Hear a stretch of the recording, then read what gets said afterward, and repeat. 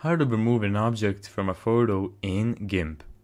You need to download this plugin right here on GitHub. It's called the Resynthesizer. So what I'm gonna do is I'm gonna download it like that. So I'm gonna drag this right here. I'm gonna open it up and then I'm gonna export it right here.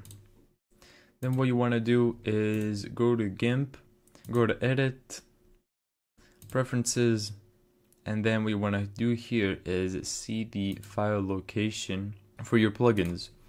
Let's use this file location right here. So now I can copy paste this location but it's uh, it's no worries if you want to do it like this.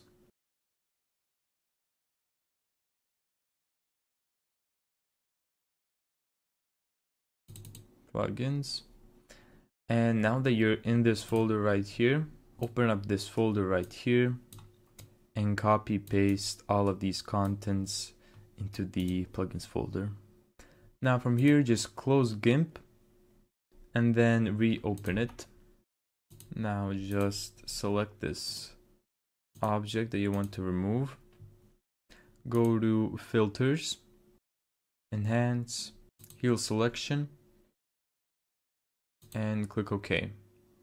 And there we go. Now from here, I can simply delete each one of these by doing the exact same thing.